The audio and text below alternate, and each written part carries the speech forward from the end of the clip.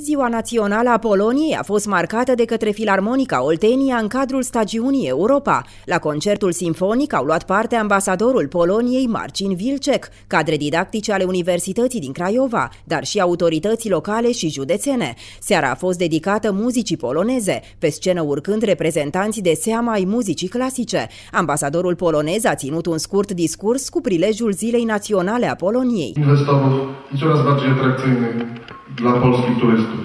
Astăzi, România este nu numai un partener strategic al Poloniei, aliat puternic și de încredere în Uniunea Europeană și NATO, dar și o țară atractivă din punct de vedere economic pentru investitori polonezi și, în același timp, din ce în ce o țară mai atractivă pentru polonezi din punct de vedere turistic.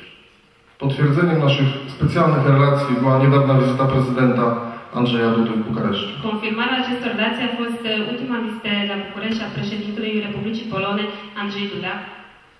Ważną rolę we wzajemnych stosunkach y, odgrywa kultura. Un rol important în relațiile reciproce are cultura. Dlatego dzisiaj y, pozwoliłem sobie zaprosić Państwa na ten koncert. Życzę Państwu miłego wieczoru i dziękuję De bardzo. aceea, astăzi v-am invitat, v-am invitat la acest concert. Vă mulțumesc frumos și vă doresc o seară plăcută. având în vedere relațiile nu doar diplomatice și culturale, dar și istorice pe care le are Craiova cu Polonia. Așa cum a spus și domnia sa, întregul guvern al Poloniei, împreună cu președintele, împreună cu șeful armatei, au fost refugiați la Craiova în timpul um, războiului, s-au bucurat de ospitalitatea noastră, Ba mai mult, chiar și tezaurul Poloniei a poposit pentru o vreme aici și s-a întors integral în Polonia, ceea ce, din păcate, în cazul nostru nu s-a întâmplat atunci când am trecut prin această experiență.